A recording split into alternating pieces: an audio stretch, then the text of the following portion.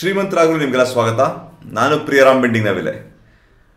ಇವತ್ತಿನ ನಿಫ್ಟಿ ವಿಶ್ಲೇಷಣೆ ನೋಡಿ ನಾನು ಸ್ವಲ್ಪ ಬೇರೆ ರೀತಿ ತೋರಿಸಿದ್ದೀನಿ. ಅಂದರೆ ನಾನು ಚಾರ್ಟು ಎಷ್ಟು ಇಂಪಾರ್ಟೆಂಟ್ ಅನ್ನೋಕ್ಕೆ ನಾನು ಡೇಟಾ ತೋರಿಸಿ. ಫಸ್ಟು ಡೇಟಾ ತೋರಿಸ್ತೀನಿ.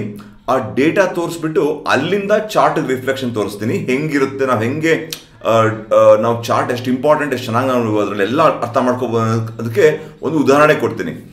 ಇವತ್ತು ನಾನು ಡೈರೆಕ್ಟಾಗಿ ನಾನು ತೋರಿಸಲ್ಲ ಫಸ್ಟ್ ಒಂದು ಡೇಟಾ ತೋರಿಸ್ಬಿಟ್ಟು ಆಮೇಲೆ ಮಾಡ್ತೀನಿ ಓಕೆನಾ ಅದನ್ನು ಸ್ವಲ್ಪ ನೋಡಿ. ಬ್ಯಾಂಕ್ ನಿಫ್ಟಿ ತೋರಿಸ್ತೀನಿ, ಹೇಗಿದೆ ಅಂತ.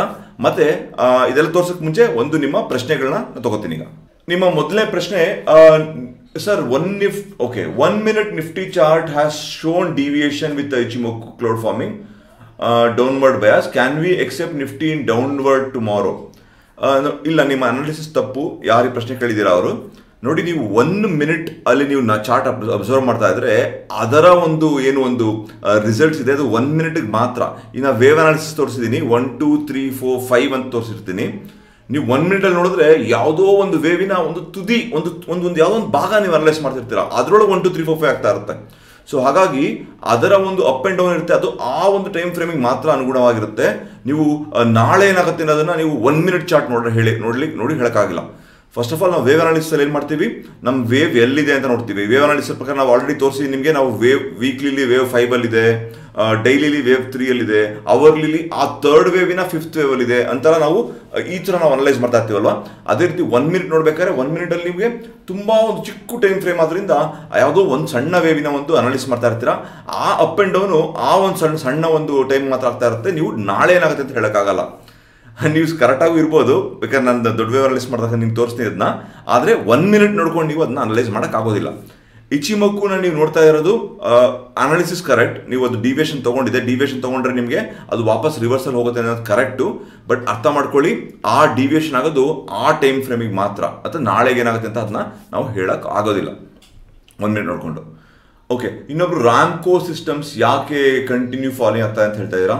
ಸಿಸ್ಟಮ್ಸ್ ರ್ಯಾಮ್ಕೋ ಸಿಸ್ಟಮ್ಸ್ ಓಕೆ ನೋಡಿ ವೆರಿ ವೆರಿ ಸಿಂಪಲ್ ಎಲ್ಲ ಸ್ಟಾಕು ಅದೊಂದು ವೇವ್ ಪ್ರಕಾರ ಹೋಗ್ತಾ ಇರುತ್ತೆ. ಅಂದರೆ ಒಂದು ಸೈಕಲ್ಸ್ ಇರುತ್ತೆ. ಆದರೆ ಒಂದು ಅರ್ಥ ಮಾಡ್ಕೊಳ್ಳಿ, ಯಾವಾಗ ನೀವು ಈ ಒಂದು ವಾಲ್ಯೂಮ್ ಇಲ್ಲದೇ ಇರೋ ಸ್ಟಾಕ್ಸ್ ತಗೋತೀರಾ? ಇವತ್ತು ಇವತ್ತು ಬೆಳಗ್ಗೆ ಯಾರೋ ಒಬ್ಬರು ನನ್ನ ಫ್ರೆಂಡ್ ಒಬ್ರು ಕೇಳ್ತಾರೆ ಸರ್ ನಾನು ಯಾವುದೋ ಒಂದು ಸ್ಟಾಕ್ ತುಂಬ ಆರ್ ಇ ಎಂ ಎಲ್ ಯಾವುದೋ ಒಂದು ಸ್ಟಾಕ್ ಹೇಳಿದ್ರು ಅವ್ರು ನನಗೆ ಮರ್ತೋಗಿದ್ದೀನಿ. ಅವು ತುಂಬ ಮೇಲೆ ಹೋಗ್ತು ಒಂದು- ಸರಿಗೆ ಹತ್ತು ರೂಪಾಯಿಂದ ಏಳ್ನೂರ, ಐವತ್ತು ರೂಪಾಯಿ, ಎಂಟುನೂರು ರೂಪಾಯಿ ಹೋಗಿದೆ ಸರ್ ಅದು. ಅದಕ್ಕೆ ನಾನು ಏನು ಮಾಡಿದೆ, ಎಂಟುನೂರು ರೂಪಾಯಿ ಇರ್ಬೇಕಾದ್ರೆ ನಾನು ಹೂಡಿಕೆ ಮಾಡಿದೆ. ಇನ್ನೂ ಜಾಸ್ತಿ ಮೇಲೆ ಹೋಗುತ್ತೆ ಅಂತ ಯಾರೋ ಟಿಪ್ಸ್ ಬೇರೆ ಕೊಟ್ಟರು ಅಂತ. ಈಗ ನೋಡಿದ್ರೆ ಒಂದೇ ಸರಿ ಡೈಲಿ ಅದು ಲೋಯರ್ ಸರ್ಕ್ಯೂಟ್ ಬರ್ತದೆ, ಯಾಕೆ ಅಂತ ಕೇಳಿದ್ರು. ನೋಡಿ ನಾನು ಇದನ್ನು ಪ್ರತಿಯೊಂದು ವಿಡಿಯೋ ಹೇಳ್ತಾ ಇರ್ತೀನಿ. ವಾಲ್ಯೂಮ್ ಇಲ್ಲದೆ ಇರುವಂಥ ಸ್ಟಾಕ್ಗಳು ನೀವು ಪರ್ಚೇಸ್ ಮಾಡಿದ್ರೆ, ಅದು ಆಪರೇಟರ್ಗಳು ಅದನ್ನು ಪಂಪ್ ಆ್ಯಂಡ್ ಡಮ್ ನಾನೊಂದು ವಿಡಿಯೋ ಬೇರೆ ಹಾಕಿ ಮಾಡಿ ಮಾಡಿದ್ದೀನಿ ನಾನು ಶ್ರೀಮಂತ ಸ್ಪೆಷಲ್ ಸೀರೀಸಲ್ಲಿ ಪಂಪ್ ಆ್ಯಂಡ್ ಡಮ್ ಡಮ್ ಸ್ಟಾಕ್ಸ್ ಬಗ್ಗೆ. ಅದರಲ್ಲಿ ಇದೇ ವಿಷಯ ಹೇಳಿದ್ದೀನಿ ದಯವಿಟ್ಟು ನೀವು ಆ ವಿಡಿಯೋಗಳನ್ನ ನೋಡ್ಕೊಂಡು ಬನ್ನಿ. ಅದು ನಿಮಗೆ ಎಚ್ಚೆಚ್ಚು ನಿಮಗೆ ಒಂದು ವಾರ್ನಿಂಗ್ ಕೊಡೋಕ್ಕೋಸ್ಕರ ಆ ವಿಡಿಯೋಗಳು ಮಾಡಿರೋದು ನಾನು. ಈ ಒಂದು ಸಣ್ಣ ಒಂದು ವಾಲ್ಯೂಮ್ ಇಲ್ದಿರೋ ಸ್ಟಾಕಲ್ಲಿ ತೊಗೊಂಡ್ರೆ ಈ ಥರ ಒಂದು ಡೇಂಜರ್ಗಳು ಇರುತ್ತೆ. ಓಕೆನಾ ಒಂದು ವಾಲ್ಯೂಮ್ ಇಲ್ದಿ ಇರೋ ಸ್ಟಾಕಲ್ಲಿ ನಿಮಗೆ ಆಪರೇಟರ್ಸ್ ಅದನ್ನ ಆಪರೇಟ್ ಮಾಡೋದು ತುಂಬ ಕಷ್ಟ ಆಗಿರುತ್ತೆ. ಹಾಗಾಗಿ ನಿಮಗೆ ಒಂದು ಫೇರ್ ವ್ಯಾಲ್ಯೂ ಸಿಗ್ತಾ ಇರುತ್ತೆ. ಫೇರ್ ವ್ಯಾಲ್ಯೂ ಅಂದರೆ ನೀವು ವೇವ್ ಅನಾಲಿಸ್ ಮಾಡ್ಕೊಂಡು ಟೆಕ್ನಿಕಲ್ ಅನಾಲಿಸ್ ಮಾಡ್ಕೊಂಡು ಅದನ್ನ ಟ್ರೇಡ್ ಮಾಡ್ಬೋದು. ಈ ಥರ ಒಂದು ವಾಲ್ಯೂಮ್ ಇಲ್ದಿರೋ ಸ್ಟಾಕ್ಗಳಿಗೆ ಹೋದ್ರೆ ನಿಮ್ಮ ಯಾವ ಟೆಕ್ನಿಕಲ್ ಅನಾಲಿಸ್ ವರ್ಕ್ ಆಗಲ್ಲ. ಯಾಕಂದ್ರೆ ಯಾರೋ ಒಬ್ಬರು ಆಪರೇಟರ್ ಒಬ್ಬ ಅವನು ಅದನ್ನ ಆಪರೇಟ್ ಮಾಡ್ತಾ ಇರ್ತಾನೆ. ಅಥವಾ ನಿಮ್ಮ ಗ್ರೀಡ್ನ ನಿಮ್ಮ ಅತಿಹಾಸನ ಅದನ್ನ ಯೂಟಿಲೈಸ್ ಮಾಡ್ಕೊತಾ ಇರ್ತಾನೆ. ಅಲ್ವಾ? ಸೊ ಹಾಗಾಗಿ ದಯವಿಟ್ಟು ನೀವು ವಾಲ್ಯೂಮ್ ಇರುವ ಸ್ಟಾಕ್ಗಳಲ್ಲಿ ಮಾತ್ರ ಹೂಡಿಕೆ ಮಾಡಿ. ಓಕೆ ಓಕೆ ಶೇರ್ ಸೆಲ್ ಮಾಡೋಕ್ಕೆ ಹೋದರೆ order rejected as scrip has not bin permitted for trading ಅಂತ ಬರ್ತಾ ಇದೆ ಸಮಸ್ಯೆ ಅಂತ ಸ್ವಲ್ಪ ದಯವಿಟ್ಟು ಹೇಳ್ತೀರಾ ಓಕೆ ಸೊ ನೋಡಿ ಇದು ನಿಮಗೆ ಸ್ಟಾಕ್ ಮಾರ್ಕೆಟಲ್ಲಿ ಕೆಲವು ಸ್ಟಾಕ್ಗಳನ್ನ ಬಾರ್ ಮಾಡಿರ್ತಾರೆ ಹಲವಾರು ಕಾರಣಗಳೇ ಇದು ನಾನು ಯಾವುದೊಂದು ವಿಡಿಯೋಲಿ ಮಾಡಿ ಹಾಕಿದ್ದೀನಿ ಬಟ್ ಅದು ನಾನು ಲಿಂಕ್ ನಾನು ಟ್ರೈ ಮಾಡ್ತೀನಿ ಹಾಕೋಕ್ಕೆ ಕೆಲವು ಕೆಲವು ಸ್ಟಾಕ್ಗಳನ್ನ ಈಗ ಫಾರ್ ಎಕ್ಸಾಂಪಲ್ ಈಗ ಇನ್ನೊಂದು ಸ್ಟಾಕ್ ಬಗ್ಗೆ ಹೇಳಿದೆ ರ್ಯಾಂಕೋ ಬಗ್ಗೆ ಅಥವಾ ಬೇರೆ ಒಂದು ಸ್ಟಾಕ್ ಬಗ್ಗೆ ಹೇಳಿದ್ನಲ್ಲ ಆರ್ ಎಂ ಎಲ್ ಬಗ್ಗೆ. ಅದೆಲ್ಲ ಹೆಂಗೆ ಅಂದರೆ ಸಡನ್ ಆಗಿ ಮೇಲೆ ಹೋಗ್ಬಿಟ್ಟಿರುತ್ತೆ ಒಂದು ಸರಿಗೆ. ಅಂದರೆ ಏನು ಇರೋದೇ ಇಲ್ಲ ಅದು.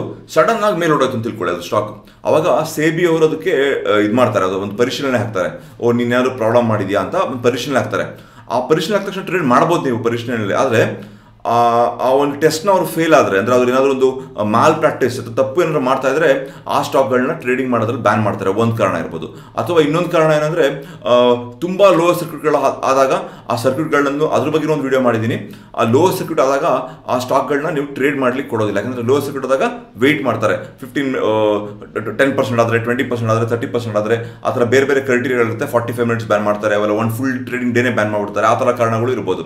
ಸೊ ಹಾಗಾಗಿ ನೀವು ಈ ಥರ ಒಂದು ಇದು ಬರ್ತಾ ಇರ್ಬೋದು. ಸೊ ಆ ಥರ ಸ್ಟಾಕ್ಗಳು ನೀವು ಮಾಡೋದೇ ಅವಶ್ಯಕತೆ ಇಲ್ಲ. ಬಂದರೆ ಒಳ್ಳೇದಂತ ಅರ್ಥ ನಿಮಗೆ. ನಿಮ್ಮ ಬ್ರೋಕರ್ ಬೇಕು ಅಂತಲೇ ನಿಮ್ಗೆ ಆ ಥರ ಒಂದು ಮೆಸೇಜ್ ಕೊಟ್ಟರೆ ಒಳ್ಳೇದೇ ಅದು. ಯಾಕಂದರೆ ಆ ಥರ ಒಂದು ಸ್ಟಾಕ್ನಲ್ಲಿ ನೀವು ಹೂಡಿಕೆನೂ ಮಾಡೋಕ್ಕೆ ಹೋಗಬಾರ್ದು ಅಂತ ಅರ್ಥ. ಓಕೆ ಇನ್ನೊಬ್ರು ಕೇಳ್ತಾ ಇದ್ದೀರಾ okay I have I have sat in and take stocks and I am losing money on them do I keep them as long term or sell them ನಿಮ್ಮ ಕ್ವಶನ್ಸ್ ತಪ್ಪಿದೆ ಮೇಡಮ್ ನೀವು ಸ್ವಲ್ಪ ದಯವಿಟ್ಟು ಆ question sat in and take stocks ಅಂತ ಅರ್ಥ ಆಗಿಲ್ಲ ನನಗೆ ಸ್ವಲ್ಪ ದಯವಿಟ್ಟು ನಿಮ್ಮ ಕ್ವಶನ್ ಸರಿ ಹಾಕಿ. ನಾನು ನೋಡ್ತೀನಿ. ಇಟ್ ಸೀನ್ಸ್ ನಿಫ್ಟಿ ಓಕೆ ಇನ್ನೊಬ್ರು ಕೇಳಿದಾರೆ it seems Nifty it seems like Nifty have no technical or fundamental it's just dancing on the tunes of operator who are planning to it a put premium accumulated P C R ratio ಅಂತ ಹೇಳ್ತಾ ಇದ್ದಾರೆ ನೋಡಿ Nifty bank ನಿಫ್ಟಿನ ಆಪರೇಟರ್ಗಳು operate ಮಾಡೋಕ್ಕಾಗೋದಿಲ್ಲ ಯಾಕಂದರೆ ಯಾಕಂದ್ರೆ high volume ಇರುತ್ತೆ ಅದರಲ್ಲಿ. ಇದ್ರಲ್ಲಿ, ಇದರಲ್ಲಿ ಏನಂದ್ರೆ ದೊಡ್ಡ ಪ್ಲೇಯರ್ಸ್ ಅಂದ್ರೆ ಬಿಗ್ ಬಿಗ್ ಫಂಡ್ ಹೌಸ್ ಇರ್ತಾರಲ್ಲ ಎಫ್ ಐ ಡಿ ಐ ಅವ್ರುಗಳು ಆಟ ಆಡ್ತಾ ಇರ್ತಾರೆ ಇದರಲ್ಲಿ. ಓಕೆನಾ ಇದು ಆಪರೇಟರ್ ಕೆಲಸ ಅಲ್ಲ. ಈ ದೊಡ್ಡ ದೊಡ್ಡ ಫಂಡ್ ಹೌಸ್ಗಳು ಅವ್ರುಗಳು ಮಾಡ್ತಾ ಇರ್ತಾರೆ. ನಾವು ಚಾರ್ಟಲ್ಲಿ ಏನು ನೋಡ್ತೀವಿ ಅಂದರೆ ಅದನ್ನೇ ನೋಡ್ತಾ ಇರ್ತೀವಿ. ನಾವು ನಾವು ಆಸ್ ಅ ರಿಟೇಲರ್ ನಾವು ನಿಫ್ಟಿನ ಮೂವ್ ಮಾಡ್ಲಿಕ್ಕೆ ಆಗೋದಿಲ್ಲ. ನಾವೇನು ಮಾಡ್ತೀವಿ? ಈ ದೊಡ್ಡ ದೊಡ್ಡ ಪ್ಲೇಯರ್ಸ್ ಏನು ಮೂವ್ ಮಾಡ್ತಾ ಇರ್ತಾರೆ ನಿಫ್ಟಿನ ಅಥವಾ ಬ್ಯಾಂಕ್ ನಿಫ್ಟಿನ ಅಥವಾ ಮಾರ್ಕೆಟ್ನ ಯಾವುದೋ ಒಂದು ಸ್ಟಾಕ್ ಇರ್ಬೋದು, ಮೇಲೆ ಹೋಗ್ತಾ ಇದ್ರೆ ನಾವು ಅದನ್ನು ಕಣ್ಣಿಡ್ಕೊಂಡು ನಾವು ಅವ್ರ ಜೊತೆ ಮೇಲೆ ಹೋಗ್ತಾ ಇರ್ತೀವಿ. ಅವ್ರೇನಾದರೂ ಅದನ್ನು ಅದನ್ನು ಸೆಲ್ ಮಾಡಿ ಅದನ್ನು ಕೆಳಗೆ ಬಿಡಿಸ್ತಾ ಇದ್ರೆ ನಾವು ಅದನ್ನು ಕಣ್ಣು ಹಿಡ್ಕೊಂಡು ಚಾರ್ಟಲ್ಲಿ ನಾವು ಅವ್ರ ಜೊತೆ ಶಾರ್ಟ್ ಪೊಸಿಷನ್ ಬರ್ತೀವಿ. ಇಷ್ಟೇ ಮಾರ್ಕೆಟಲ್ಲಿ ನಾವು ಅದನ್ನು ಏನು ಪ್ರೇಟ್ ಮಾಡ್ತಾ ಇದ್ದಾರೆ, ದೊಡ್ಡ ಪ್ಲೇಯರ್ಗಳು ಏನು ಮಾಡ್ತೀರ ಅದನ್ನು ನೋಡಿಕೊಂಡು ನಾವು ಅವ್ರ ಥರ ಮಾಡೋಕ್ಕೆ ಹೋಗ್ತಿದ್ದೀವಿ ಅವರ ವಿರುದ್ಧ ಹೋಗಕ್ಕೆ ಹೋದರೆ ನಮಗೆ ಲಾಸ್ ಆಗುತ್ತೆ. ಸೊ ಅವ್ರು ಏನು ಮಾಡ್ತಿರ್ತಾರೆ ಅವರ ಸಾಥ್ ಹೋಗ್ಬೇಕು ನಾವು. ಅಷ್ಟೇ ಟೆಕ್ನಿಕಲ್ ಅನಾಲಿಸ್ ಅಂದರೆ ಅಷ್ಟೇ ಚಾರ್ಟಲ್ಲಿ ಪ್ರೈಸ್ ಆಕ್ಷನ್ ಆಗ್ತಾ ಇರುತ್ತೆ ಅಕ್ಯುಮುಲೇಷನ್ ಆಗ್ತಾ ಇರುತ್ತೆ. ಅದರ ಅರ್ಥ ಏನು ಯಾರೋ ಒಬ್ಬ ಬೈ ಮಾಡ್ತಾ ಇದ್ದಾನೆ ಅಲ್ಲಿ ಅರ್ಥ. ಸೊ ಬೈ ಮಾಡ್ತಾ ಇದೀನಿ ಅರ್ಥ ಅಂದರೆ ಏನು ಮಾಡಬೇಕಲ್ಲಿ ನನಗೆ? ಬೈ ಆ ಒಂದು ಬ್ರೇಕ್ ಔಟ್ ಆದ ತಕ್ಷಣ ಬೈ ಮಾಡಬೇಕು ಅಂತ ಅರ್ಥ. ಸೊ ಬ್ರೇಕ್ ಆದ ತಕ್ಷಣ ಬೈ ಮಾಡಿದ ತಕ್ಷಣ ನಾನು ಪ್ರಾಫಿಟಲ್ಲಿ ಬರ್ತೀನಿ. ಯಾಕೆ ಅದಾಗ್ತಿರುತ್ತೆ? ಸೊ ಯಾರೋ ಒಬ್ಬ ಕ್ಲಿಯರ್ ಮಾಡಿರ್ತಾ ಅಂತ. ಅಕ್ಯುಮುಲೇಟ್ ನಾವು ಮಾಡೋಕ್ಕಾಗೋದಿಲ್ಲ ಅಲ್ವಾ? ಅದೇ ಒಂದು ಪುಟ್ಟ ಪುಟ್ಟ ವಾಲ್ಯೂಮ್ ಇದ್ದಿರೋ ಸ್ಟಾಕಲ್ಲಿ ನಾವು ಕೂಡ ಅಕ್ಯುಮುಲೇಷನ್ ಮಾಡಿ ನಾವು ಕೂಡ ಆಟ ಆಡಬಹುದು ಅದರಲ್ಲಿ, ಅಲ್ವಾ? ಸೊ ಹಾಗಾಗಿ ಆಪರೇಟರ್ ಮಾಡೋಕ್ಕಾಗ್ತಿರಲ್ಲ ಇದರಲ್ಲಿ. ಇದೊಂದು ಅಕ್ಯುಮುಲೇಷನ್ ಫೇಸ್ ನನ್ನ ಮಾರ್ಕೆಟ್ ಫೇಸ್ ಬಗ್ಗೆ ವಿಡಿಯೋ ಮಾಡಿದ್ದೀನಲ್ಲ, ಅದನ್ನ ನೋಡಿ, ಅದರಲ್ಲಿ ನಿಮ್ಗೆ ಅರ್ಥ ಆಗುತ್ತೆ. ಈಗ ಮಾರ್ಕೆಟಲ್ಲಿ ಏನಾಗ್ತಿದ್ರೆ ಪುಟ್ ಪ್ರೀಮಿಯಂ ಇದು ಅಕ್ಯುಮುಲೇಟರ್ ಅಂತ ಹೇಳ್ತಾ ಇದ್ದೀರಾ ನೋಡಿ, ಅದೇ ಬ್ಯೂಟಿ ಹೇಳ್ತಿರೋದು. ಈ ಒಂದು ಮಾರ್ಕೆಟಲ್ಲಿ ನಾನು ಹೇಳ್ತಾ ಇರೋದು wave five five five five ಆ ಕಡೆ ಇರೋದ್ರಿಂದ ನಾವು ಒಬ್ಬ ಅಡಾಪ್ಟಿವ್ ಟ್ರೇಡರ್ ಆದ್ರಿಂದ ನಮ್ಗೆ ಚೆನ್ನಾಗಿ ಗೊತ್ತು ಈಗ ಆಪ್ಷನ್ ಬೈ ಮಾಡಿದ್ರೆ ಲಾಭನ ಆಪ್ಷನ್ ಸೆಲ್ ಮಾಡಿದ್ರೆ ಲಾಭನ ಅಂತ ನಾನು ತುಂಬ ದಿವಸ ಹೇಳ್ತಾ ಇದ್ದೀನಿ option selling market unless until ನಮಗೆ ಒಳ್ಳೆ ಒಂದು ಶಾರ್ಟ್ ಪೊಸಿಷನ್ ಅಥವಾ ಒಂದು ಒಳ್ಳೆ ನಮಗೆ ಒಂದು ಇಂಡಿಕೇಶನ್ ಕೊಡೋ ತನಕ ನಾವು ಒಂದು ಶಾರ್ಟ್ ಪೊಸಿಷನ್ ಇರಬೇಕು ಅಂತ ಹೇಳ್ತಾ ಇದ್ದೀನಿ. ಈಗ ಪುಟ್ ಪ್ರೀಮಿಯಂ ಅಕ್ಯುಮುಲೇಟ್ ಆಗ್ತಾ ಅಂತ ಹೇಳ್ತಾ ಇದ್ರೆ ಖಂಡಿತ ಆಗ್ತಾ ಇರುತ್ತೆ. ಯಾಕಂದ್ರೆ ನಾವು ನಾವೊಂದು ಸುಮಾರು ದಿವಸ ಹೇಳ್ತಾ ಇಲ್ವಾ ಒಂದು ಕರೆಕ್ಷನ್ ಒಂದು ಅವರ್ಲಿ ಕ್ಯಾಂಡಲ್ ನಮಗೆ ಇದೊಂದು ಡೈವರ್ಜೆನ್ಸ್ ಡೈಲಿ ಕ್ಯಾಂಡಲ್ ಡೈವರ್ಜೆನ್ಸ್ ಹೊಟ್ಟೋಗಿರೋದ್ರಿಂದ ಈಗ ಮತ್ತೆ ಅವರ್ಲಿ ಕ್ಯಾಂಡಲ್ ಎಲ್ಲ ಕಡೆ ಡೈವರ್ಜೆನ್ಸ್ ಇರೋದ್ರಿಂದ ಒಂದು ಕರೆಕ್ಷನ್ ಬಾಕಿ ಇದೆ. ಆ ಕರೆಕ್ಷನ್ ಬಾಕಿ ಇರೋದ್ರಿಂದನೇ ನಿಮಗೆ ಪುಟ್ ಪ್ರೀಮಿಯಂ ಜಾಸ್ತಿ ಆಗ್ತಾ ಇರುತ್ತೆ. ಓಕೆ ಅಷ್ಟೇ very simple okay sir put option and call option ಅಂದ್ರೆ ಗೊತ್ತಾಗ್ತಿಲ್ಲ. ಇದೆಲ್ಲ ಇದೆಲ್ಲ ಯಾವಾಗ ಕಲಿಯೋ ಕಲಿಯೋದು ಅನ್ನಿಸ್ತಿದೆ. ಸರ್ ಇದು ತುಂಬ ಈಸಿಯಾಗಿ ನಾನು ಸ್ಟೇಜ್ ತ್ರೀ ಸ್ಟೇಜ್ ತ್ರೀಯಲ್ಲಿ ಹೇಳ್ಕೊಟ್ಟಿರ್ತೀನಿ. ನಿಮಗೆ ಬರೀ ಬೇರೆ ಟೆಕ್ನಿಕ್ ಎಲ್ಲ ಚೆನ್ನಾಗಿ ಗೊತ್ತು, ಬೇರೆ ಎಲ್ಲ ನಾನು ಟ್ರೇಡಿಂಗ್ ಮಾಡ್ತಾ ಇದ್ದೀನಿ ಅಂತ ಬರೀ ಆಪ್ಷನ್ ಫೀಚರ್ಸ್ ನಂಗೆ ಗೊತ್ತಿಲ್ಲ ಅಂದರೆ ಬರೀ ಸ್ಟೇಜ್ ತ್ರೀ ಹೋಗಿ ತೊಗೊಳ್ಳಿ, ನಿಮಗೆ ಬೇರೆ ಎಲ್ಲ ಅವಶ್ಯಕತೆ ಇರಲ್ಲ ನಿಮಗೆ. ಆ ಸ್ಟೇಜ್ ತ್ರೀಯಲ್ಲಿ ಫ್ಯೂಚರ್ ಆಪ್ಷನ್ ಮತ್ತು ಅದಕ್ಕೆ ಬೇಕಾದ ಸ್ಟ್ರಾಟಜಿಗಳು ಎಲ್ಲ ನಾನು ಹೇಳ್ಕೊಟ್ಟಿರ್ತೀನಿ ಅದರಲ್ಲಿ. ಆಪ್ಷನ್ ಸೆಲ್ಲಿಂಗ್ ಅಂದ್ರೆ ಬೈಯಿಂಗ್ ಅಂದ್ರೆ ಯಾವಾಗ ಮಾಡಬೇಕು, ಯಾವ ಥರ ಮಾಡಬೇಕು ನೋ ನಾನ್ ಡೈರೆಕ್ಷನಲ್ ಟ್ರೇಡರ್ ಅಂದ್ರೇನು ಅದೆಲ್ಲ ಹೇಳ್ಕೊಟ್ಟಿರ್ತೀನಿ ಅಲ್ಲಿ. ಸ್ಟೇಜ್ ತ್ರೀಯಲ್ಲಿ ನಿಮಗೆ ಅದೆಲ್ಲ ಸಿಗುತ್ತೆ. ಆ ಕಷ್ಟ ಇಲ್ಲ ಸರ್ ಈಸಿಯಾಗಿ ಕಲಿಬೋದು ಬಟ್ ಅದಕ್ಕೆ ಎಲ್ಲ ಟೈಮ್ ಕೊಡ್ಬೇಕು ನೀವು ಅಷ್ಟೇ ಓಕೆನಾ ಬಟ್ ಗೊತ್ತಿಲ್ಲದೆ ಮಾಡಿದ್ರೆ ಕಷ್ಟ. Hi hi sir if you observe sixteen thousand O in call side shows seven seven eight five six more then double compare to put side can you say there will be very strong ration coming days yes correct ನಾವು ಹೇಳಿ ನಾನು correct ನೀವು ನಿಮ್ಮ analysis correct ಇದೆ. ಈಗ ನಮಗೆ resistance ಇದೆ. ನಾವು ನಾವು ಡೈಲಿ ಮಾರ್ಕೆಟ್ ನೋಡ್ತಾ ಇದ್ರೆ resistance high top level resistance ಇದೆ. ಯಾಕಂದರೆ hourly fifteen minute five minute ಎಲ್ಲ ನೋಡ್ಕೊಂಡು ಬಂದರೆ ನಮಗೆ ಡೈವರ್ಜೆನ್ಸ್ ದೊಡ್ಡ ದೊಡ್ಡ ಡೈವರ್ಜೆನ್ಸ್ಗಳಿರೋದ್ರಿಂದ ನಮಗೆ ಒಂದು ಹೈಯರ್ ಲೆವೆಲ್ ಡೈವರ್ಜೆನ್ಸ್ ಇದೆ. ಯಾಕಂದರೆ ಡೈಲಿ ಇನ್ನು ವೇವ್ ತ್ರೀಯಲ್ಲಿ ಮುಗಿಯಕ್ಕೆ ಬಂದಿದೆ. ವೇವ್ ತ್ರೀ ಮುಗಿಯಕ್ಕೆ ಬಂದಿದೆ. ಹಾಗಾಗಿ ಒಂದು ಕರೆಕ್ಷನ್ ಆಗಬೇಕು. ವೇವ್ ಫೋರ್ ಕರೆಕ್ಷನ್ ಆಗಬೇಕು. ಆಮೇಲೆ ಒಂದು ವೇವ್ ಫೈವ್ ಕಡೆ ಹೋಗಬೇಕು. ಹದಿನೇಳು ಸಾವಿರದ ಇನ್ನೂರ ಎಪ್ಪತ್ತಾರು ಅಂತೆಲ್ಲ ಮೊನ್ನೆ ಹೇಳಿದ್ರಲ್ಲ ಆ ಲೆವೆಲ್ಗಳಿಗೆ ಹೋಗೋ ಚಾನ್ಸಸ್ ಇದೆ. ಓಕೆ ಸೊ ಕರೆಕ್ಟ್ ನಿಮ್ಮ ಅನಾಲಿಸಿಸ್ ಮಾರ್ಜಿನ್ ಸ್ವಲ್ಪ ಬಗ್ಗೆ ಸ್ವಲ್ಪ ಹೇಳ್ತೀರಾ? ಮಾರ್ಜಿನ್ ಬಗ್ಗೆ ಆಲ್ರೆಡಿ ಹೇಳಿದ್ದೀನಿ ಸರ್ ನಾನು. ನನ್ನ ಕಾಸ್ಟ್ ಆಫ್ ಡೂಯಿಂಗ್ ಬಿಸ್ನೆಸ್ ಅಂತ ಗ್ಯಾನ್ ಸೀರೀಸ್ ಅಲ್ಲಿ ಹಾಕಿದ್ದೀನಿ. ಅದರಲ್ಲಿದೆ. Sir market depend on internal affairs also right okay it is related to international then it would be Afghanistan issue sir ಸಂಬಂಧನೇ ಇಲ್ಲ. ನ್ಯೂಸ್ ನಾನು ಎಲ್ಲ ವಿಡಿಯೋಲೂ ಹೇಳ್ತಾ ಇರ್ತೀನಿ. ನ್ಯೂಸ್ ನೋಡೋದನ್ನ ಫಸ್ಟು ಬಿಟ್ಬಿಡಿ. ನ್ಯೂಸ್ಗೂ ನಮ್ಮ ರಿಯಾಲಿಟಿಗೂ ಸಂಬಂಧನೇ ಇಲ್ಲ. ಆಯ್ತಾ? ಸಂಬಂಧ ಇದ್ರೂ ನಾವು ಅದನ್ನ ಆಪರ್ಚುನಿಟಿನ ನಾವು ಗೇನ್ ಮಾಡೋಕ್ಕೆ ಆಗೋದಿಲ್ಲ. ನಾವು ರಿಟೇಲ್ ಯಾರು ಟ್ರೇಡರ್ಸ್ ಇರ್ತಾರೆ ಇನ್ವೆಸ್ಟರ್ ಇರ್ತಾರೆ ನ್ಯೂಸಿಂದನೇ ಎಲ್ಲ ಆಗುತ್ತೆ, ಇಲ್ಲ ಅಂತ ಹೇಳ್ತಾ ಇಲ್ಲ. ಆದರೆ ನಮಗೆ ಆ ನ್ಯೂಸ್ ಬೇಸ್ಡ್ ಇಟ್ಕೊಂಡು ನಾವು ಟ್ರೇಡರ್ ಆಗಕ್ಕೆ ಆಗಲ್ಲ. ಟ್ರೇಡರ್ ಮಾಡೋಕ್ಕೆ ಸಾಧ್ಯನೇ ಇಲ್ಲ. ಯಾಕಂದ್ರೆ ಆ ನ್ಯೂಸು ನ್ಯೂಸ್ ಸ್ಟುಡಿಯೋಗೆ ಹೋಗಿ ಅವ್ರು ನ್ಯೂಸ್ ಪೇಪರಲ್ಲಿ ಓದಿ ಅಥವಾ ನ್ಯೂಸಲ್ಲಿ ಓದಿ ನೀವು ಕೇಳಿಕೊಂಡು ನೀವು ಟ್ರೇಡ್ ಹಾಕೊಳ್ಳೋ ವೇಳೆಗೆ ಆಲ್ರೆಡಿ ಏನು ಆಗಬೇಕು ಅದು ಆಗೋಗಿರುತ್ತೆ. ಸೊ ನಿಮಗೆ ಫಾಸ್ಟೆಸ್ಟ್ ಮತ್ತು ಬೆಸ್ಟ್ ವೇ ಅಂದರೆ ಚಾರ್ಟ್ ಓಕೆನಾ ಇಂಟರ್ನ್ಯಾಷನಲ್ ಇಶ್ಯೂ ನೋಡಿ ಕೋವಿಡ್ ಹೋದ ವರ್ಷ ಎರಡು ಸಾವಿರದ ಇಪ್ಪತ್ತರಲ್ಲೇ ಕೋವಿಡ್ ಬಂತು ಮಾರ್ಕೆಟ್ ದೊಡ್ಡ ಒಂದು ಕರೆಕ್ಷನ್ ತೊಗೊಂತು ಅದಾದಮೇಲೆ ಕೋವಿಡ್ ಕಮ್ಮಿ ಆಯಿತಾ? ಎರಡನೇ ಅಲೆ, ಮೂರನೇ ಅಂತ ಎಷ್ಟು ಜನ ಸಾಯ್ತಾ ಇದ್ರು? ಎಷ್ಟು ಬಿಸ್ನೆಸ್ಗಳು ಲಾಸ್ ಆಯಿತು? ಇವತ್ತಿಗೂ ನಾವು ಪ್ರೀ ಕೋವಿಡ್ ಟೈಮ್ಸ್ಗೆ ಬಿಸ್ನೆಸ್ಗಳು ಆ ಲೆವೆಲಿಗೆ ಬಂದಿಲ್ಲ. ನಿಮಗೆ ಗೊತ್ತು. ಬಿಸ್ನೆಸ್ಗಳು ಓಪನ್ ಆಗಿದೆ, ಗಾಡಿಗಳು ಓಡ್ತಾರೆ ಜನ ಓಡ್ತಾ ಇರ್ತಾರೆ. ಆದರೆ, ಮೊದಲಿನ ಹಾಗೆ ಬಿಸ್ನೆಸ್ ನಡೀತಾ ಇಲ್ಲ ಎಲ್ಲರಿಗೂ ಅಂತೂ ನಮ್ಮ ಸ್ಟಾಕ್ ಮಾರ್ಕೆಟ್ ಎಷ್ಟು ಮೇಲೆ ಹೋಗ್ತಾ ಇದೆ, ಅಲ್ವಾ? ಅದು ಕಾರಣಗಳೇ ಬೇರೆ ಇರುತ್ತೆ, ಅರ್ಥ ಆಯ್ತಾ?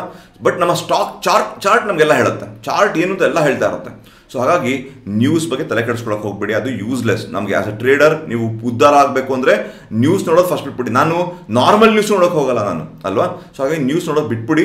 ಅವಾಗ ಮಾತ್ರ ನೀವು ಒಂದು, ನೋಡಿ ಏನಾಗುತ್ತೆ ಅಂತ ಹೇಳ್ತೀನಿ. ಚಾರ್ಟ್ ನಿಮಗೆ ಬೈ ಸಿಗ್ನಲ್ ಕೊಡ್ತಾ ಇರುತ್ತೆ. ಆಫ್ಘಾನಿಸ್ತಾನಲ್ಲಿ ಬಾಂಬ್ಸ್ ಹಿಡಿದು ಅಂತ ಇಲ್ಲೊಂದು ನ್ಯೂಸ್ ಮಾಡ್ಬಿಡುತ್ತೆ ನಿಮಗೆ ತಳಮಳ ಈಗ. ನಾ ಬೈ ಮಾಡಲಾ ಸೆಲ್ ಮಾಡಲಾ ಅಂತ ಒಂದು ತಳಮಳ. ನೀವೇನು ಮಾಡ್ತೀರಾ? ನಿಮ್ಮ ಒಂದು ಈಗ ನಿಮ್ಮ ಸೈಕಾಲಜಿ ನಿಮ್ದು ಏನಾಗುತ್ತೆ ಅಂದರೆ ನಿಮ್ಮ ಒಂದು ಇಮೋಷನಲ್ ಬಿಟ್ಟೋಗುತ್ತೆ ಈಗ. ನಿಮ್ಮ ಟೆಕ್ನಿಕಲ್ ಅನಾಲಿಸಿಸ್ ಬೇರೆ ಹೇಳ್ತಾ ಇರುತ್ತೆ ಬಟ್ ನಿಮ್ಮ ಇಮೋಷನ್ನೇ ಬೇರೆ ಹೇಳ್ತಾ ಇರುತ್ತೆ, ಅವಾಗ ಏನೋ ತಪ್ಪು ನಿರ್ಧಾರ ತಗೋತೀವಿ, ಅಲ್ವಾ? ಸೊ ಹಾಗಾಗಿ ಫೋಕಸ್ಡ್ ಇರಬೇಕು. ಆ ಫೋಕಸ್ ಇರಬೇಕು ಅಂದರೆ ನೀವು ನ್ಯೂಸ್ ನೋಡೋದು ನಿಲ್ಲಿಸ್ಬೇಕು ಫಸ್ಟ್ ಇದು ನನ್ನ ಬಿಗ್ಗೆಸ್ಟ್ ಅಡ್ವೈಸ್ ಓಕೆ ಸೊ ನೋಡ್ಕೊಳ್ಳಿ. ಓಕೆ ಇದಿಷ್ಟು ನಿಮ್ಮ ಪ್ರಶ್ನೆಗಳು. ಈಗ ನಿಮ್ಮ, ನಾವು ಒಂದು ವಿಶಿಷ್ಟವಾದ ಒಂದು ಅನಾಲಿಸಿಸ್ ಮಾಡೋಣ. ಬನ್ನಿ. ಇವತ್ತು ನಿಫ್ಟಿ ಅನಾಲಿಸಿಸ್ ಸ್ಟಾರ್ಟ್ ಮಾಡೋಕ್ಕೆ ಮುಂಚೆ ನಾನು ನಿಮಗೆ ಇನ್ನೇನೋ ತೋರಿಸ್ತಾ ಇದ್ದೀನಿ. ಏನು ತೋರಿಸ್ತಾ ಇದ್ದೀನಿ?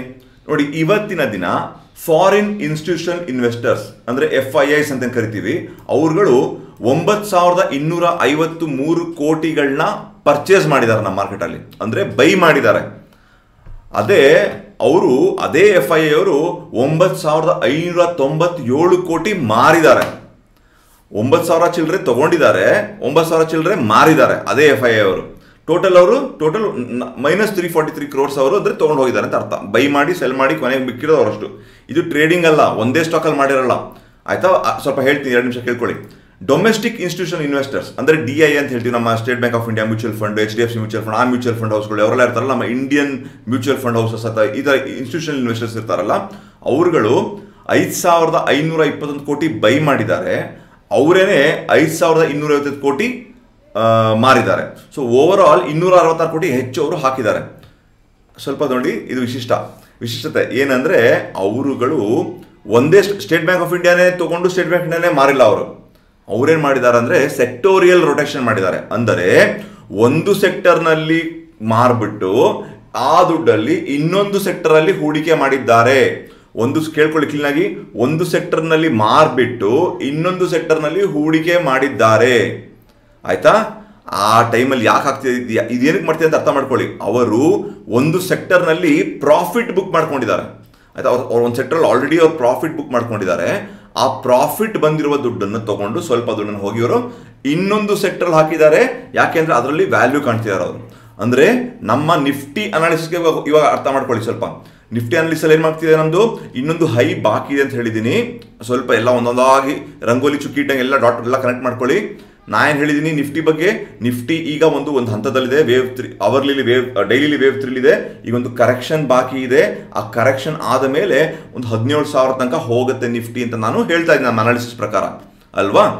ಈಗ ನೆಕ್ಸ್ಟು ಇವರು ಬಂದಿರುವ ಈ ವಿಷಯಕ್ಕೆ ಬರೋಣ. ಯಾವುದು? ಎಫ್ ಐ ಡಿ ಐ ಅವರು ಏನು ಕೆಲಸ ಮಾಡ್ತೀರಂತ ಅಂತ. ಅವ್ರೇನು ಮಾಡ್ತಿದ್ದಾರೆ ವೇವ್ ತ್ರೀ ಅಂದರೆ ಹೈಯೆಸ್ಟ್ ಪ್ರಾಫಿಟ್ ನನ್ನ ಮಾರ್ಕೆಟ್ ಅನಾಲಿಸಿಸ್ ಹೋಗಿ ಬನ್ನಿ ಈಗ. ಅಲ್ಲಿ ನಾನು ಡಿಸ್ಟ್ರಿಬ್ಯೂಷನ್ ಫೇಸ್ ಅವೆಲ್ಲ ಫೇಸ್ಗಳ ಬಗ್ಗೆ ಹೇಳಿದ್ದೀನಿ ನಾನಲ್ವಾ? ಈಗ ಪಬ್ಲಿಕ್ ಪಾರ್ಟಿಸಿಪೇಷನ್ ಫೇಸ್ ಅಂದರೆ ವೇವ್ ತ್ರೀ ಅದು ಮುಗಿದಿದೆ. ಅವರು ಇಲ್ಲಿ ಏನು ಪ್ರಾಫಿಟ್ ಮಾಡಿದ್ದಾರೆ, ಅದನ್ನೆಲ್ಲ ಸ್ಲೋ ಆಗಿ ಒಂದೇ ಸರಿ ಕಳಿಸಲ್ಲ. ಒಂದೇ ಸರಿ ಅಂದರೆ ಕ್ರಾಶ್ ಆಗ್ಬಿಡುತ್ತೆ ಮಾರ್ಕೆಟ್ ಸ್ಲೋ ಆಗಿ ಕಳಿಸ್ಕೊತಾರೆ ಅವರು. ಅದೇ ವೇವ್ ಫೋರ್ ಆಗೋದೀಗ ಈಗ. ಸ್ಲೋ ಆಗಿ ಕಳಿಸ್ಕೊಳ್ಳೋದೇ ಒಂದು ವೇವ್ ಫೋರ್ ಆಗುತ್ತೆ ಈಗ.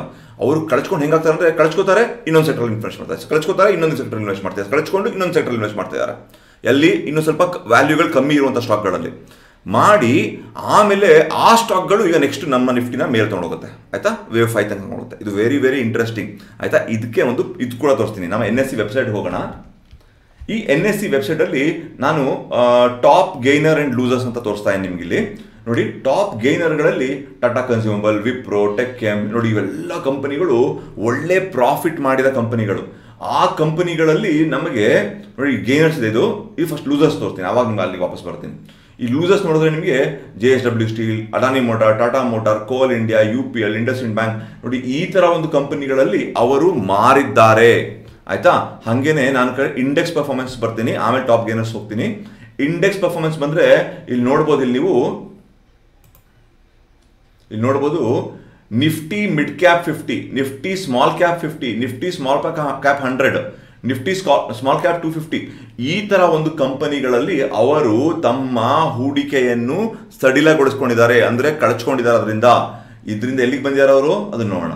ನೋಡಿ, ಇದರಿಂದ ಅವ್ರುಗಳು ಬಂದಿರೋದು, ನೋಡಿ, Nifty next fifty Nifty mid cap one fifty Nifty mid small cap four hundred Nifty mid cap hundred ನೋಡಿ, ಬೇರೆ ಒಂದು ಸೆಕ್ಟರ್ನೇ ಅವ್ರು ಬೆಳೆಸಿದ್ದಾರೆ. ಒಂದು ಸೆಕ್ಟರ್ ಕಳಚ್ಕೊಂಡು ಇನ್ನೊಂದು ಸೆಕ್ಟರ್ ಅವರು ಹೂಡಿಕೆ ಮಾಡ್ತಿದ್ದಾರೆ. ಆಯ್ತಾ? ಆ ನೋಡಿ ಇದು ಇದನ್ನ ಇಟ್ಕೊಂಡು ನೀವು ಟ್ರೇಡ್ ಮಾಡೋಕ್ಕಾಗಲ್ಲ ಓಕೆ ಸ್ವಲ್ಪ ನ್ಯೂಸ್ ಸ್ವಲ್ಪ ಅರ್ಥ ಮಾಡ್ಕೊಳ್ಳಿ ಹೆಂಗೆ ಡೇಟಾ ಮತ್ತೆ ಇದೆಲ್ಲ ರಿಲೇಟ್ ಆಗುತ್ತೆ ಅಂತ ಹೇಳಕ್ಕೆ ಅರ್ಥ ಟ್ರೈ ಮಾಡ್ತಾ ಇದ್ದೀನಿ ನೋಡಿ, ನಾನು ಫಸ್ಟ್ ವೇವ್ ಅನಾಲಿಸಿಸ್ ಮಾಡಿದೆ. ವೇವ್ ತ್ರೀ ಅಲ್ಲಿ ಪ್ರಾಫಿಟ್ ತೊಗೊಂಡಿದ್ದಾರೆ. ಈಗ ಮತ್ತೆ ಅವ್ರ ಪ್ರಾಫಿಟ್ನ ಸ್ಲೋವಾಗಿ ಕಳ್ಸ್ಕೊಂಡ್ ಬರ್ತಾರೆ. ಅಂದ್ರೆ ಅದು ವೇವ್ ಫೋರ್ ಆಗಬೇಕು. ಆಮೇಲೆ ಈ ಎಲ್ಲಿ ಯಾವ ಸೆಕ್ಟರ್ ಅಲ್ಲಿ ಹೂಡಿಕೆ ಮಾಡಿದ್ದಾರೆ ಸೆಕ್ಟರ್ ರೊಟೇಷನ್ ಅಲ್ಲಿ, ಆ ಸೆಕ್ಟರ್ಗಳಿಗೆ ಒಂದು ನಿಫ್ಟಿಯನ್ನು ಮೇಲ್ ತಗೊಂಡು ಹೋಗಬೇಕು ಹದಿನೇಳು ಸಾವಿರದ ಇನ್ನೂರ ಎಪ್ಪತ್ತಾರು ತನಕ. ಇದು ಒಂದು ಬಿಗ್ ಪಿಕ್ಚರ್ ನಮ್ಮ ಚಾರ್ಟ್ ಹೇಳ್ತಿರೋ ವಿಷಯ. ಡೇಟಾ ಏನು ತೋರಿಸ್ತಿದೆ, ಅದೇ ತೋರಿಸ್ತಾ ಇದೆ. ಡೇಟಾ ಏನು ಮಾಡ್ತಿದೆ? ಕಳ್ಸ್ಕೊತಿದ್ದಾರೆ, ಇವರು ಹೂಡಿಕೆ ಮಾಡ್ತಾರೆ. ಕಳ್ಸ್ಕೊತಿದ್ದಾರೆ, ಹೂಡಿಕೆ ಮಾಡ್ತಿದ್ದಾರೆ. ಆ ಥರ ಆಗ್ತಾ ಇದೆ. ಈಗ ನೆಕ್ಸ್ಟ್ ನಾನು ಚಾರ್ಟಿಗೆ ಹೋಗ್ತೀನಿ. ಈ ಚಾರ್ಟ್ನಲ್ಲಿ ನೀವು ನೋಡ್ಬೋದು, ಇದು ಒಂದು ಫೈವ್ ಮಿನಿಟ್ಸ್ ಚಾರ್ಟ್ ಇವತ್ತು ಹೆಂಗಾಗಿ ತೋರಿಸ್ತೀನಿ. ನೋಡಿ, ನಿಮ್ಮ ಫಸ್ಟ್ ಹಾಫ್ ಅಂದರೆ ನಿಮ್ಮ ಮೊದಲನೇ ಒಂದು ಒಂದು ಹಾಫಲ್ಲಿ ಮೊದಲನೇ ಒಂದು ಹಾಫಲ್ಲಿ ನಿಫ್ಟಿಯಲ್ಲಿ ನೀವು ಕಾಣಬಹುದು ಒಂದು ಸೆಲ್ಲಿಂಗ್ ನಡೀತು. ಆಯಿತಾ? ಯಾವ ಟೈಮ್ ತನಕ ನಡೀತು ನೋಡೋಣ. ನೋಡಿ, ಈ ಒಂದು ಟೈಮಲ್ಲಿ, ಈ ಒಂದು ಪಾಯಿಂಟಲ್ಲಿ ಒಂದು ಸೆಲ್ಲಿಂಗ್ ನಡೀತು. ಈ ಒಂದು ರೇಂಜಲ್ಲಿ ಕಾಣಿಸ್ತಾ ಇದೆಯಾ ನಿಮಗೆ? ಈ ಒಂದು ರೇಂಜಲ್ಲಿ ಒಂದು ಸೆಲ್ಲಿಂಗ್ ನಡೆಯುತ್ತೆ ಈ ಪಾಯಿಂಟಲ್ಲಿ, ಇಲ್ಲಿಂದ ಇಲ್ಲಿಗೆ ಬಂದಿದೆ. ಆಮೇಲೆ ಹೂಡಿಕೆ ಮಾಡ್ತಾರೆ ನಿಫ್ಟಿಯಲ್ಲಿ. ಓಕೆ? ಅದೇ ಬ್ಯಾಂಕ್ ನಿಫ್ಟಿಗೆ ಹೋಗೋಣ. ಈ ಬ್ಯಾಂಕ್ ನಿಫ್ಟಿಯಲ್ಲೂ ನೀವು ನೋಡ್ಬೋದು. ಈಚು ಮುಕ್ಕಲ್ಲಿ ತೆಗೋಣ ಇಲ್ಲಿ. ಸದ್ಯಕ್ಕೆ ಬೇಡ. ನೋಡಿ ಬ್ಯಾಂಕ್ ನಿಫ್ಟಿಯಲ್ಲಿ ಕೂಡ ನೀವು ನೋಡ್ಬೋದು ಒಂದು ದೊಡ್ಡ ಮೊತ್ತದ ಒಂದು ಸೆಲ್ಲಿಂಗ್ ಮಾಡಿದ್ದಾರೆ. ಅಂದರೆ ಯಾವುದೋ ಒಂದು ಬ್ಯಾಂಕಿನ ಸೆಗ್ಮೆಂಟಲ್ಲಿ ಅವರು ಸೆಲ್ ಮಾಡಿದ್ದಾರೆ, ನಮ್ಮ F I I D I ಅವರು. ಆಮೇಲೆ ಇನ್ನು ಯಾವುದೋ ಒಂದು ಬ್ಯಾಂಕಿನ ಸೆಗ್ಮೆಂಟಲ್ಲಿ ಹೂಡಿಕೆ ಮಾಡಿದ್ದಾರೆ. ನಿಮಗೆ ಹೋಮ್ವರ್ಕ್ ನಾನು ಇದೆಲ್ಲ ಮಾಡ್ಕೊಂಡು ಕೂರ, ಕೂರಲ್ಲ, ನಿಮಗೆ ಒಂದು ಹೋಮ್ವರ್ಕ್ ಕೊಡ್ತೀನಿ. ಏನು ಅಂದರೆ, ಆ ಸೆಕ್ಟರ್ಗಳು ಬ್ಯಾಂಕ್ನಲ್ಲಿ ಯಾವ ಬ್ಯಾಂಕ್ಗಳಿಂದ ಅವರು ಅವರು ತಮ್ಮ ಸಡಿಲಗೊಳಿಸ್ಕೊಂಡು ಯಾವ ಬ್ಯಾಂಕ್ಗಳಿಗೆ, ಬ್ಯಾಂಕಿಂಗ್ ಸೆಕ್ಟರ್ಗಳಿಗೆ ಹೂಡಿಕೆ ಮಾಡಿ. ಎನ್ ಬಿ ಎಫ್ ಸಿ ಇರ್ಬೋದು ಅಥವಾ ಗೌರ್ಮೆಂಟ್ ಬ್ಯಾಂಕ್ ಇರ್ಬೋದು, ಪಬ್ಲಿಕ್ ಬ್ಯಾಂಕ್ ಇರ್ಬೋದು, ಏನೋ ಪ್ರೈವೇಟ್ ಬ್ಯಾಂಕ್ ಏನಾದರೂ ಇರ್ಬೋದು, ಯಾವ ಬ್ಯಾಂಕ್ಗಳಲ್ಲಿ ಅವರು ಕಳಚ್ಕೊಂಡು, ದುಡ್ಡನ್ನು ಕಳಚ್ಕೊಂಡು ಯಾವ ಬ್ಯಾಂಕಿಂಗ್ ಸೆಕ್ಟರಲ್ಲಿ ಅವರು ಹೂಡಿಕೆ ಮಾಡಕ್ಕೆ ಶುರು ಮಾಡಿದ್ದಾರೆ, ಅದನ್ನ ಹೇಳ್ಬೇಕು ನನಗೆ ನೀವು, ಆಯ್ತಾ? ನೆಕ್ಸ್ಟು ನಿಫ್ಟಿಯಲ್ಲಿ ಕೂಡ ನಿಫ್ಟಿಯಲ್ಲಿ ಕೂಡ ನೀವು ನನಗೆ ಹೇಳಬೇಕಾಗಿದ್ದಂದ್ರೆ ಯಾವ ಸೆಕ್ಟರ್ಗಳಲ್ಲಿ ಅವರು ಕಳಚ್ಕೊಂಡು ಯಾವ ಸೆಕ್ಟರಲ್ಲಿ ಹೂಡಿಕೆ ಮಾಡ್ತಿದ್ದಾರೆ. ಇದೊಂದು ರಿಸರ್ಚ್ ಮಾಡಿ, ನಿಮ್ಗೊಂದು ಐಡಿಯಾ ಬರುತ್ತೆ. ನನಗೆ ಈ ಥರ ಡೇಟಾ ಎಲ್ಲ ಓದ್ಕೊಂಡು ನಾನು ಟ್ರೇಡ್ ಮಾಡ್ಬೋದು. ಅಥವಾ ಮೋಸ್ಟ್ ಈಸಿಯೆಸ್ಟ್ ಏನು, ನಾನು ಚಾರ್ಟ್ ನೋಡ್ಕೊಂಡು ಕೂಡ ಟ್ರೇಡ್ ಮಾಡ್ಬೋದು. ಚಾರ್ಟು ಅದೇ ಹೇಳುತ್ತೆ ನಾನು ಯಾವಾಗ ಹೇಳ್ತೇನೆ ಚಾರ್ಟ್ ಅನ್ನೋದು ಒಂದು ಪಲ್ಸ್ ಇದ್ದಂಗೆ. ಆಯಿತಾ? ಒಂದು ಪಲ್ಸ್ ಮನುಷ್ಯನ ಒಂದು ಪಲ್ಸ್ ಇದ್ದಂಗೆ. ಆ ಪಲ್ಸೇನೆ ಎಲ್ಲ ವಿಷಯಗಳು ಹೇಳ್ಬಿಡುತ್ತೆ. ನಿಮಗೆ ಟೆಸ್ಟ್ಗಳು ಮೆಡಿಕಲ್ ಟೆಸ್ಟ್ ಎಲ್ಲ ಮಾಡಿಸೋದು ಬೇಕಾಗಿಲ್ಲ ಬರೀ ಪಲ್ಸ್ ಹೇಳಿದ್ರೆ ಒಂದು ಒಂದು ಒಳ್ಳೆ ಒಬ್ಬ ಡಾಕ್ಟರ್ ಮನುಷ್ಯಂಗೆ ಇಂತ ಅಂತ ಹೇಳ್ಬಿಡ್ತಾರಲ್ಲ, ಅದೇ ರೀತಿ ನಮಗೆ ನಿಫ್ಟಿಯಲ್ಲಿ ಕೂಡ ಇದೆ. ನೋಡಿ, ನಿಫ್ಟಿಲಿ ಇವತ್ತು ಅನಾಲಿಸ್ ಮಾಡೋಕ್ಕೆ ಏನೂ ಇಲ್ಲ. ಅದೇ ಅದೇ ಜಾಗದಲ್ಲಿ ನಿಂತಿದೆ. One one very interesting thing ತೋರಿಸ್ಬಿಡ್ತೀನಿ ಅಂದರೆ ನಮಗೆ ಅವರ್ಲಿ ಚಾರ್ಟಲ್ಲಿ ನಿನ್ನೆ ನಾನು ಕನ್ಫ್ಯೂಷನ್ ಅಂತ ಹೇಳಿದೆ ನೆನ್ನೆ ಅವರ್ಲಿ ಚಾರ್ಟಲ್ಲಿ ಇವತ್ತು ಆ ಕನ್ಫ್ಯೂಷನ್ ಹೊರಟೋಯ್ತು. ಯಾಕೆ? ನೆನ್ನೆ ಈ ಪಾಯಿಂಟಿಂದ ಈ ಪಾಯಿಂಟ್ಗೆ ತುಂಬ ಒಂದು ಸ್ಮಾಲ್ ಡೈವರ್ಜೆನ್ಸ್ ಇತ್ತು. ನಿಫ್ಟಿ ಹೈ ಹೋಗಿದ್ರು ಆದರೆ ನಿಫ್ಟಿ ಇನ್ನೊಂದು ಹೊಸ ಹೈ ಮಾಡ್ತು. ನಮಗೆ ಇಲ್ಲಿ ಒಂದು ಡೈವರ್ಜೆನ್ಸ್ ಕ್ರಿಯೇಟ್ ಆಯಿತು ಅವರ್ಲಿಲಿ ಸೊ ನನಗೆ ವೀಕ್ಲಿಲಿ ಡೈವರ್ಜೆನ್ಸ್ ಇದೆ. ಡೈಲಿಲಿ ಡೈವರ್ಜೆನ್ಸ್ ಇಲ್ಲ. ಅವರ್ಲಿಲಿ ಕನ್ಫ್ಯೂಷನ್ ಇತ್ತು. ಈಗ ಆ ಕನ್ಫ್ಯೂಷನ್ ಹೋಯ್ತು. ಅವರ್ಲಿ ಡೈವರ್ಜೆನ್ಸ್ ಬಂದಿದೆ. ಫಿಫ್ಟೀನ್ ಮಿನಿಟ್ಸ್ ಡೈವರ್ಜೆನ್ಸ್ ಇದೆ. ಫೈವ್ ಮಿನಿಟ್ ಕನ್ಸಿಡರ್ ಆಗಲ್ಲ. ಫೈವ್ ಮಿನಿಟ್ಸ್ ನಾಳೆ ನೋಡ್ಕೊಳ್ಳೋಣ. ಓಕೆನಾ ಸೊ ಬೇಸಿಕಲಿ ನನಗೆ ನನ್ನ ಡೈಲಿ ಚಾರ್ಟ್ನಲ್ಲಿ ವೇವ್ ತ್ರೀ ವೇವ್ ತ್ರೀ ಮುಗಿ, ಮುಗಿದಿದೆ ಅಥವಾ ಮುಗಿಲಿಕ್ಕೆ ಬಂದಿದೆ ಅಂತ ಹೇಳ್ಬೋದು. ಮುಗಿದಿದೆ ಅಥವಾ ಮುಗಿಲಿಕ್ಕೆ ಬಂದಿದೆ ಅಂತ ಹೇಳ್ಬೋದು. ನಾ ವೆರಿ ಸಿಂಪ್ಲಿ ಹೇಳಬೇಕಂದ್ರೆ ನಾಳೆ ಇನ್ಮೇಲಿಂದ ಕಾಲ್ ಆಪ್ಷನ್ಸ್ಗಳನ್ನ ಸೆಲ್ ಮಾಡ್ಲಿಕ್ಕೆ ಶುರು ಮಾಡ್ತಾರೆ ಜನ. ಅಂದರೆ put put side put side ನಮಗೆ ಜಾಸ್ತಿ ಪ್ರೆಷರ್ಗಳು ಬರ್ತಾ ಇರುತ್ತೆ. ನೋಡಿ ಇದೊಂದು ವೆರಿ ಇಂಟ್ರೆಸ್ಟಿಂಗ್ ಆಯ್ತಾ? ಏನಕ್ಕೆ ಏನಕ್ಕೆ ಆ ಥರ ಹೇಳ್ತಾ ಇದ್ದೀನಿ ಅಕಸ್ಮಾತ್ ಅನ್ಕೊಳ್ಳೋಣ, ಇಲ್ಲಿ ವೇವ್ ತ್ರೀ ಮುಗೀತು ಅಂತ ಅನ್ಕೊಳ್ಳೋಣ. ಇವಾಗ ವೇವ್ ಫೋರ್ ಶುರು ಆಗುತ್ತೆ wave four is always complex wave four ನಮ್ಮ ವೇವ್ ಟೂಗಿಂತ ತುಂಬ ಕಾಂಪ್ಲೆಕ್ಸ್ ಇರುತ್ತೆ. ಹಾಗಾಗಿ ಈ ಜಾಗದಲ್ಲಿ ತುಂಬ ಟೈಮ್ ಹಿಡಿಯುತ್ತೆ. ಅಂದರೆ ಕಾಂಪ್ಲೆಕ್ಸ್ ಆಗಿರುತ್ತೆ ಟೈಮ್ ಹಿಡಿಯುತ್ತೆ. ಆದ್ದರಿಂದ ಆಪ್ಷನ್ ಸೆಲ್ಲಿಂಗ್ ಕಾಲ್ ಅಥವಾ ಪುಟ್ ಯಾವ ಕಡೆ ಜಾಸ್ತಿ ಪ್ರೀಮಿಯಂ ಇರುತ್ತೆ, ಆ ಒಂದು ಪ್ರೀಮಿಯಂಗಳನ್ನ ಅವರು ಮಾರ್ಕೊಂಡ್ಬರ್ತಾರೆ ನೋಡಿ ವೇವ್ ಫೋರಲ್ಲೂ ಈ ರೀತಿ ಎ ಬಿ ಸಿ ಆಗ್ತಾ ಹೋಗ್ಬೇಕಲ್ವಾ? ವೆರಿ ಸಿಂಪಲ್ ಏನು ಮಾಡ್ತಾರೆ ಅಂದ್ರೆ, ಹಿಂಗೆ ಕೆಳಗೆ ಬರ್ಬೇಕಾದ್ರೆ ಇವಾಗ ಇಲ್ಲಿ ನಿಮ್ಮ ಪುಟ್ಟಿನ ಪ್ರೀಮಿಯಂಗಳು ಜಾಸ್ತಿ ಆಗ್ತಾ ಹೋಗುತ್ತೆ. ಒಂದು ಲೆವೆಲ್ ಬಂದ ತಕ್ಷಣ ಈ ಪುಟ್ಟಿನ ಪ್ರೀಮಿಯಂ ಜಾಸ್ತಿ ಆದ ತಕ್ಷಣ ಕಾಲ್ನ ಮಾರೋದು ನಿಲ್ಲಿಸ್ಬಿಟ್ಟು ಅವರು ಪುಟ್ಟಿನ ಮಾರಕ್ಕೆ ಶುರು ಮಾಡ್ತಾರೆ. ಅವಾಗ ಸ್ವಲ್ಪ ಹಿಂಗೆ ಬಿ ಆಗುತ್ತೆ. ಮತ್ತೆ ಕಾಲ್ ಪ್ರೀಮಿಯಂ ಜಾಸ್ತಿ ಆಗುತ್ತೆ, ಪುಟ್ಟಿನ ಮರ ನಿಲ್ಲಿಸ್ಬಿಟ್ಟು ಕಾಲ್ನ ಮಾರಕ್ಕೆ ಶುರು ಮಾಡ್ತಾರೆ. ಮತ್ತೆ ಸಿ ಆಗುತ್ತೆ. So A B C wave four ಆಗಬೇಕು. ಅದಾದ್ಮೇಲೆ ನಮ್ಮ ವೇವ್ ಫೈ ಡೈಲಿ ವೇವಿನ ವೇವ್ ಫೈ ಆಗಬೇಕು. ಇದು ನಮ್ಮ ಒಂದು ಪ್ರೆಡಿಕ್ಷನ್ ಅದು ನಾವು ಒಂದು ಎರಡು ಮೂರು ದಿವಸ ತೋರಿಸ್ತಾ ಇದ್ದೀನಿ ಯಾಕೆ ಥರ ಹೇಳ್ತಾ ಅಂತ ನೀವು ಹಳೆ ವಿಡಿಯೋಗಳು ನೋಡಿದ್ರೆ ನಿಮ್ಗೆ ಗೊತ್ತಾಗುತ್ತೆ. ಈಗ ಇವತ್ತಿನದು ಬ್ಯಾಂಕ್ ನಿಫ್ಟಿ ಹೋಗೋಣ.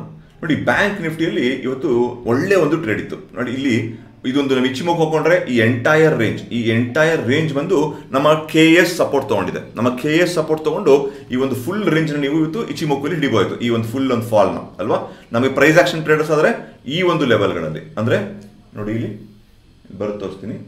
ನಮಗೆ ಇಚಿಮುಖ ಹಾಕೊಂಡ್ರೆ ನಿಮಗೆ ಎಂಟೈರ್ ವೇವ್ ನಿಮಗೆ ಟಿ ಎಸ್ ಕೆ ಎಸ್ ಅಲ್ಲಿ ನಿಮ್ಗೆ ಸಪೋರ್ಟ್ ತಗೊಳುತ್ತೆ. ನೀವು ಹಾಕಿ ನೋಡಿ, ನಿಮ್ಗೆ ಗೊತ್ತಾಗುತ್ತೆ. ಅಥವಾ ನಿಮಗೆ ಪ್ರೈಸ್ ಆಕ್ಷನ್ ಎಂಟ್ರಿ ಅಂದರೆ ಈ ಒಂದು ಪಾಯಿಂಟಲ್ಲಿ ನೀವು, ಈ ಕ್ಯಾಂಡಲ್ನಲ್ಲಿ ನೀವು ಎಂಟ್ರಿ ತಗೋಬೋದಾಯ್ತು. ಆಯಿತಾ? ಸೊ ಎಂಟ್ರಿ ತೊಗೊಂಡ್ರೆ ಮಾಡಬಾರ್ದು ಈ ಒಂದು ವೇವ್ ಅಂತೂ ಕ್ಲೀನಾಗಿ ಎ ಬಿ ಸಿ ಆಗಿದೆ. ನೋಡಿದ್ರೆ ಅಬ್ಸರ್ವ್ ಮಾಡೋದ್ರ ಇವತ್ತು? ಕ್ಲೀನಾಗಿ ಒಂದು ಎ ಬಿ ಸಿ ಆಗಿದೆ ಈ ಒಂದು ವೇವ್ ಅದನ್ನು ನಿಮಗೆ ಹಾಕಿ ತೋರಿಸ್ತೀನಿ. ಬ್ಯಾಂಕ್ ನಿಫ್ಟಿಯಲ್ಲಿ